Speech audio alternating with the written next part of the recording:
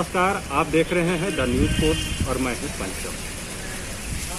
हम आज एक ऐसे मुद्दे को लेकर आए जो विगत तीन महीनों से चर्चा में मामला है दुमका का ग्रामीण विकास विशेष प्रमंडल। तीन महीने पूर्व इस विभाग में एक करोड़ बयालीस लाख रुपये सरकारी राशि की गबन की प्राथमिकी नगर थाना में दर्ज थी। पुलिस का अनुसंधान जारी है और इस मामले में अभी तक तीन लोगों की गिरफ्तारी भी हुई है, जिसमें दो विभाग के कर्मी हैं और एक राजेश कुमार नामक व्यक्ति है, जिसके खाता में रुपया गया जब तक राजेश की गिरफ्तारी नहीं हुई थी तो विभाग और पुलिस सभी राजेश को ही मुख्य आरोपी मानकर अनुसंधान कर रही थी। लेकिन जब राजेश की गिरफ्तारी हुई तो मामला और पेचीदा हो गया। राजेश ने अपने बयान में पुलिस को बताया कि वो महज 10 प्रतिशत कमीशन के नाम पर अपने खाता में रुपया मंगाया था और रुपया आते ही अपना कमीशन लेकर तमाम रुपया को, जिसके अकाउंट में ट्रांसफ़र किया गया है, वही उसका मुख्य आरोपी है। उसके बाद पुलिस जो दो या तीन नाम सामने आए, उसकी गिरफ्तारी का प्रयास अभी भी कर रही है। लेकिन इस बीच दो दिन पूर्व एक बार फिर ग्रामीण विकास विशेष प्रमंडल चर्चा में आ गया। अब इसे संजोग कहें या साजिश। लेकिन दो दिन पूर्व डंगालपाड़ा रोड में जिस दीप श्रीवास्तव नामक युवक का शव मिला और उसकी हत्या की आशंका जताई जा रही है, वो दीप श्रीवास्तव ग्रामीण विकास विशेष प्रमंडल में पत्राचार लिपिक के पद पर कार्यरत संजोग या साजिश। यह अभी कहना मुश्किल है। यह तो अनुसंधान के बाद ही पता चलेगा। लेकिन जितने लोग, जितनी मुँह, उतनी बातें आ रही बाज़ार में आम लोग जो है, उस गबन और इस हत्या को जोड़कर देख रहे हैं। वैसे इस मामले में पुलिस अभी तक खुलकर बोलने के लिए तैयार नहीं है। पुलिस का यही कहना है, अनुसंधान जारी लेकिन जब सूचना मिलने पर दीप के परिजन रांची से दुमका पहुँचे थे तो उन्होंने दुमका पुलिस और ग्रामीण विकास विशेष प्रमंडल पर कुछ गंभीर आरोप भी लगाए। क्या है आरोप? पहले आप जब सारा कुछ हो गया आरोपी पकड़ा गया। आरोपी पंकज वर्मा था और उसका एक और असिस्टेंट था जो ऑपरेटर था। क्या नाम था ऑपरेटर का? पवन पवन पवन।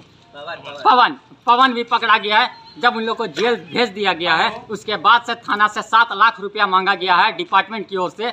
डिपार्टमेंट का लोग आए थे, जिस समय हम अपनी भाभी के साथ घर में थे, अपने भाई के घर में थे। आया गया कि थाना सात लाख रुपया मांग रहा है मैनेज करने के लिए। सात लाख रुपया, पचास हज़ार रुपया मेरा भाई दिया है। तीन माह से अपना बच्चा का फ़ीस नहीं भर रहा है, सर। सात लाख रुपया दिया है मेरा भाई। केस को दबाने के लिए? उसके बाद भी लोग वही कहानी किया उसके बाद आज मेरा भाई को मार दिया गया।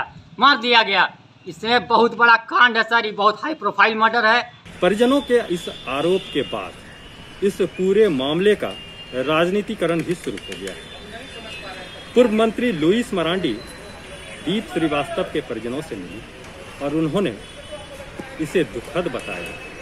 पूरे मामले की न्यायिक या सीबीआई जाँच की मांग की और इसी बहाने राज्य सरकार पर जमकर निशाना साधा। जो ग्रामीण विकास विभाग का विशेष प्रमंडल में कुछ दिन पहले हम लोग सुने थे एक करोड़ बयालीस लाख का कुछ घोटाला हुआ था या किसी अकाउंट पर पैसा चला गया था तो वो वापस हुआ, नहीं हुआ, ये तो विभाग ही जाने।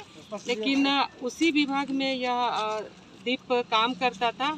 और हमें जहाँ तक समझ में आ रहा है, इतनी बड़ी रकम का जो घोटाला हुआ है, उसी से इस बेचारा लड़का का भी लिंक उस मैंने लिंक, उस डिपार्टमेंट में थे तो उसी के आधार से इनको हत्या कर दी गई कि हो सकता है इनके पास बहुत सारा चीज़ें सामने आता है इनके माध्यम से तो इसीलिए इसको रास्ता से हटा दिया गया है। और हम निश्चित रूप से बोल रहे हैं कि वर्तमान में यहाँ शासन नाम का कोई चीज़ नहीं रह गया और उसका जीता जगता उदाहरण अभी सामने दिखा। पिछले दिनों, कुछ दिन पहले एक इसी तरह का एक घटना और घटा था। दीप के परिजन ने किसी संतोष नाम का ज़िक्र किया।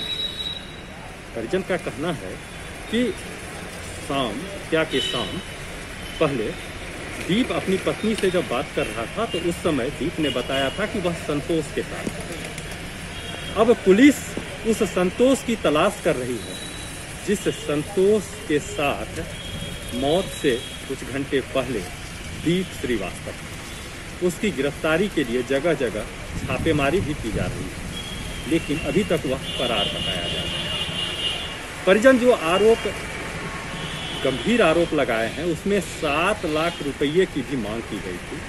परिजन का यह कहना है। तो ग्रामीण विकास विशेष प्रमंडल के तमाम कर्मियों ने राशि एकत्रित कर दुमका पुलिस को इस केस को मैटरलाइज करने के लिए सामना किया गया। यह परिजन का आरोप है। अब इस बाबत जब हमारी बात एग्जीक्यूटिव अफसर से हुई तो वो जिला से बाहर है। उन्होंने इसका खंडन किया। उनका कहना है, आरोप बेबुनियाद उन्होंने यह भी कहा जो कि जब अगर यह आरोप लगा है तो अब पुलिस इस बिंदु पर भी निष्पक्ष जाँच करे ताकि मामला स्पष्ट हो जाए।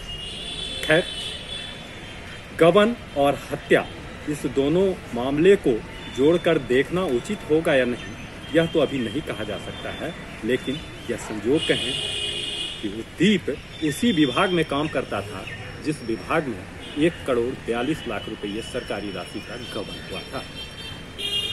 पुलिस का अनुसंधान कब तक पूरा होता है, यह तो अभी बता पाना मुश्किल है। लेकिन ग्रामीण विकास विशेष प्रमंडल के मामले में दुमका पुलिस हमेशा बैकफुट पर ही नज़र आई। अब इस हत्या को लेकर इतना जल्द इसका उद्भेदन करना पाती है, यह दुमका पुलिस के लिए बहुत बड़ी चुनौती होगी। द न्यूज़ पोस्ट के लिए दुमका से पंचम कुमार झा